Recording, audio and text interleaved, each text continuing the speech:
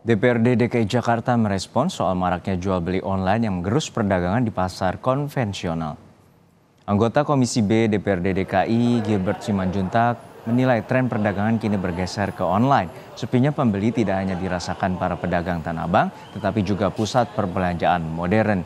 Hal ini karena penjualan online menawarkan kemudahan dan harga yang murah. Komisi B DPRD DKI merekomendasikan pelatihan bagi pedagang di pasar Tanah Abang khususnya UMKM binaan Pemprov DKI.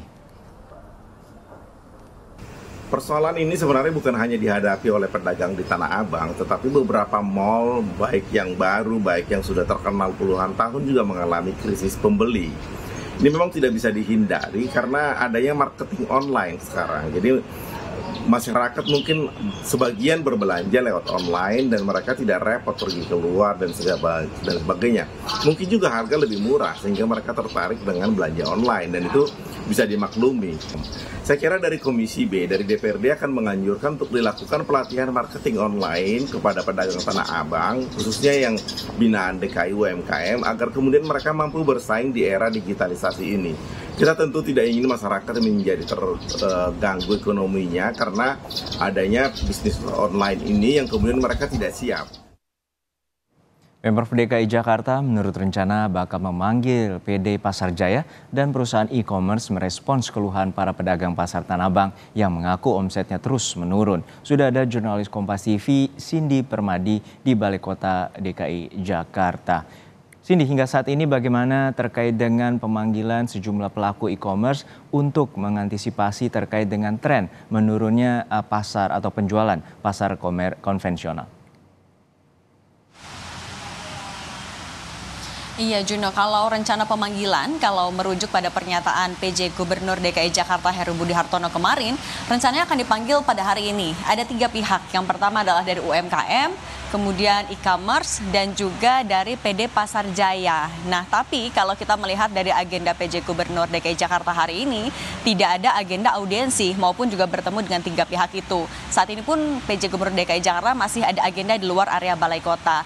Nah, pemanggilan ini dilakukan atau rencana pertemuan diagendakan memang tujuannya adalah untuk menampung maupun juga mencari solusi dari keluhan pedagang pasar Tanah Abang yang sudah beberapa kali menyampaikan keluhannya seperti misalnya pasar Tanah Abang yang sekarang sepi akibat adanya platform social commerce yang juga melayani uh, jual beli ataupun juga transaksi langsung ini berdampak pada omset yang anjlok dari jutaan sampai puluhan juta rupiah. Kemudian juga dikeluhkan soal harga produk yang jauh lebih murah daripada yang ditawarkan oleh pedagang konvensional. Hal-hal inilah yang sekiranya akan dibahas dalam agenda pertemuan. Kapan? Ini yang masih sama-sama kita tunggu. Sesuai rencana hari ini, tapi sekali lagi kalau di agenda masih belum tercantum. Nah, soal keluhan dari para pedagang juga sebelumnya jadi sorotan setelah Komisi B DPRD DKI Jakarta khususnya dari fraksi PDIP juga melakukan tinjauan langsung ke Pasar Tanah Abang Blok G pada pekan lalu sekitar hari Jumat. Dari situ ditemukan bahwa ya keluhan-keluhannya sama dan sebenarnya kalau kita lihat juga secara umum keluhan serupa tidak hanya terjadi di area Jakarta tapi juga di area area lain. Nah, kalau dari Komisi B DPRD DKI Jakarta juga menyoroti tidak hanya untuk mencari solusi soal merespons sepinya pasar Tanah Abang, tapi juga menyoroti janji dilakukannya revitalisasi pasar Tanah Abang yang dinilai ini juga jadi salah satu alasan kenapa pasar Tanah Abang kemudian sepi. Karena kalau saat ini kita lihat di pasar Tanah Abang yang sudah terintegrasi menggunakan Skybridge ini baru di Blok A B dan juga di Blok F. Nah, sementara kalau di Blok G ini yang juga jadi salah satu tempat para pedagang mengeluhkan sepinya penjualan belum terintegrasi dengan Skybridge. Alasannya memang belum dibangun karena akan direvitalisasi. Nah ini yang juga ditagihkan oleh uh, Komisi B DPRD DKI Jakarta khususnya dari fraksi PDIP. Kapan akan dilakukan revitalisasi sehingga pasar Tanah Abang bisa semakin dipercantik dan kembali menarik para pembeli untuk berbelanja secara langsung, Juno. Ya Cindy, adanya juga wacana pelatihan dari DPRD DKI Jakarta terhadap uh, pedagang pasar konvensional. Lalu bagaimana nanti teknis pelaksananya karena pedagang Tanah Abang sebelumnya juga telah mencoba berjualan daring atau online? Iya, ini masih dalam bentuk rekomendasi dari Komisi B DPRD DKI Jakarta. Tadi kami tanyakan lewat pesan singkat kepada Gilbert Simanjuntak kalau dalam waktu dekat memang masih belum ada rencana RDP untuk mendengar langsung karena sebelumnya uh, ya tadi sudah ada perwakilan dari fraksi PDIP yang sudah melihat langsung dan juga berkomunikasi langsung.